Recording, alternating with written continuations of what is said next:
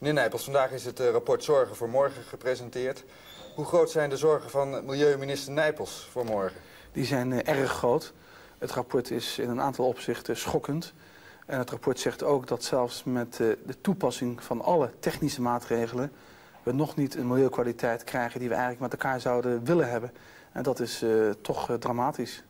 Nu hebt u zelf de afgelopen jaren ook maatregelen genomen, krachtige woorden gesproken. Had u dan niet gehoopt dat dit rapport iets optimistischer zou zijn? Dat het zou zeggen van nou, we gaan de goede kant op?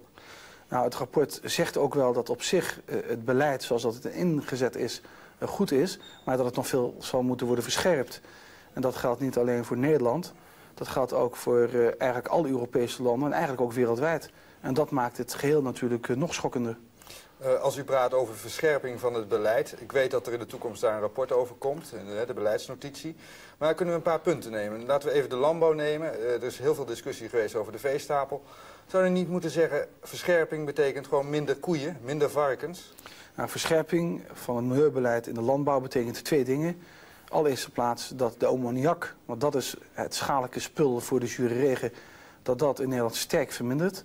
Wat mij betreft zal dat in orde van grootte van zo'n 70% moeten liggen.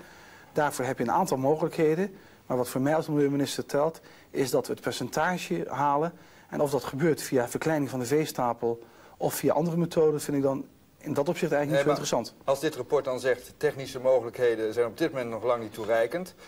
Uh, moet je dan niet zeggen van ja, dan blijft er één manier over en dat is toch minder beesten? We zullen uh, straks in het Nationaal Milieubeleidsplan uh, precies aangeven hoe we die 70% reductie van die ammoniak willen realiseren.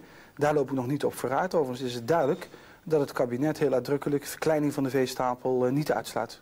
Nu worden we overstroomd met slechte berichten over ons milieu. Het gaat steeds slechter, lijkt het wel. Ook dit rapport draagt er weer een steentje bij.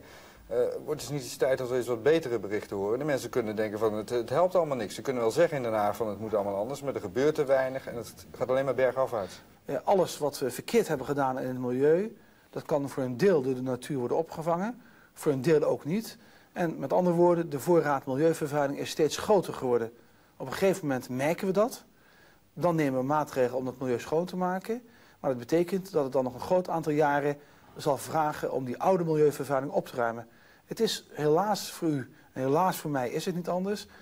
Een maatregel nu geeft niet morgen onmiddellijk resultaat. Maar er is geen enkele reden om dan maar vervolgens te zeggen, zoals u suggereert, laten we maar niks doen. Want dan staat in ieder geval vast, en daar is ook dit rapport duidelijk over, dat er dan in Nederland, uh, dat we eigenlijk een rampzalige situatie tegemoet gaan.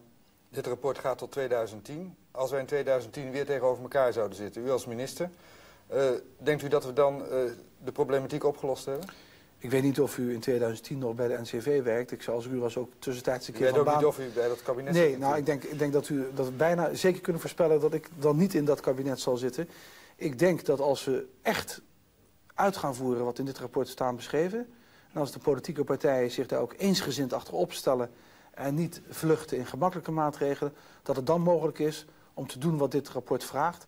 namelijk scherpe maatregelen nemen om te zorgen dat de generaties die na ons komen eigenlijk onze kinderen, dat die ook nog in een schoon Nederland kunnen leven. En dat geld dat we daarvoor nodig hebben, uh, er werd al over 30 miljard gesproken, dat komt er ook wel, denk ik. Dat geld zullen u en ik op tafel moeten brengen. Het zal duidelijk moeten zijn dat als u en ik een product kopen, dat dat product milieuvervuiling veroorzaakt. En dat betekent dat u die milieuvervuiling ook terug zult vinden in de prijs van het product.